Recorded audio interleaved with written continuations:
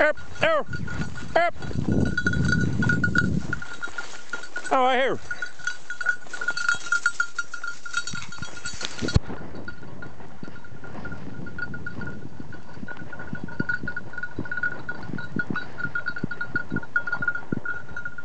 Up.